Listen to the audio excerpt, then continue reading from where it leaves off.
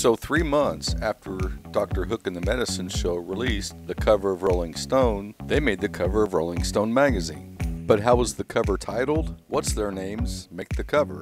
Where did the crazy name come from? The inspiration was Captain Hook from Peter Pan.